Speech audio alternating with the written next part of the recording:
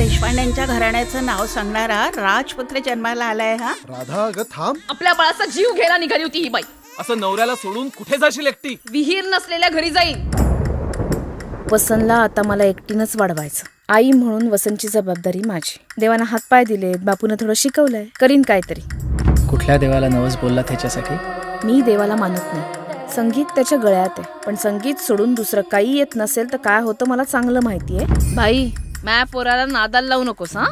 एरवी तुम्हाला गरज पडली की वसन उभा राहतो ना? सगळे गाणारे बजावणारे गेले कुठे? आणि मग त्या मैफिलींचा आणि त्या बड्या रसिक लोकांचा काय बोडक्याचा फायदा?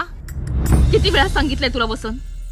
पैसे ठरल्याशिवाय होकार द्यायचा नाही म्हणून लोक फसवतात तुला. वेळ पडली तर लोकांच्या घरी धुणी भांडी करीन मी. पण आता गाणं कर तू.